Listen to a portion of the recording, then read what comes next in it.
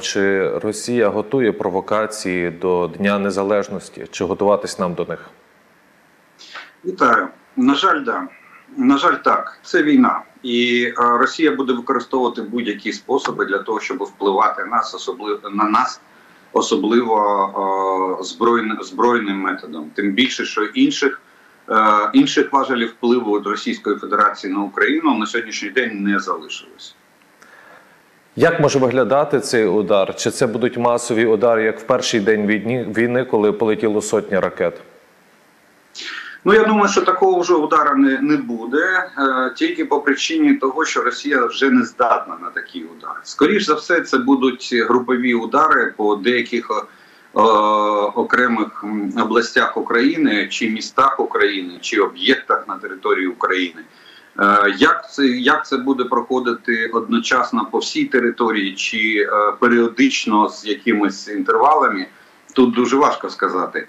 Ну я думаю, що Росія може застосувати весь арсенал е, ракет, які є у них сьогодні на озброєнні. Я маю на увазі як повітряного базування з літаків, так і морського базування з кораблів, так і е, сухопутного базування з пускових установок. Е, диві, дивіться, тут ще така історія: чи Росія підтягнула додаткову зброю до кордонів?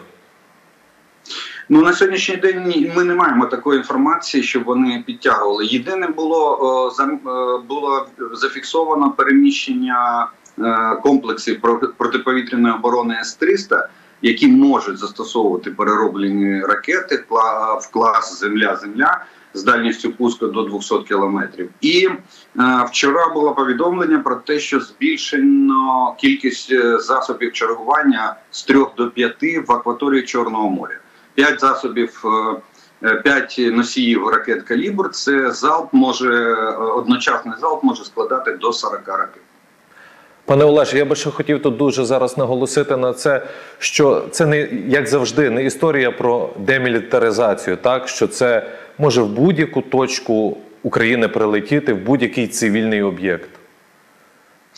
Так, е, цілком. І е, якщо ми звернемо увагу на статистику, от, до речі, зараз вона з'явилася е, на один військовий об'єкт, на уражений російськими військами на території України, приходиться до 20 цивільних об'єктів, уражених російськими військами.